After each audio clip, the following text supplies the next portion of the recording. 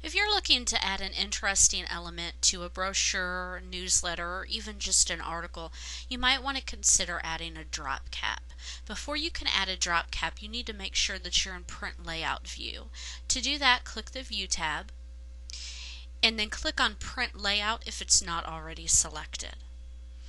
To add your drop cap, you want to click on the Insert tab and then over in the text section of the insert tab, you have a drop cap option. Go ahead and click on that.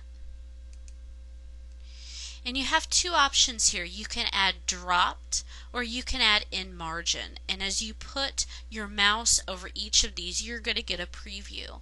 And dropped means that it's simply dropped within the article, and in margin means that it moves the drop cap over to the margin.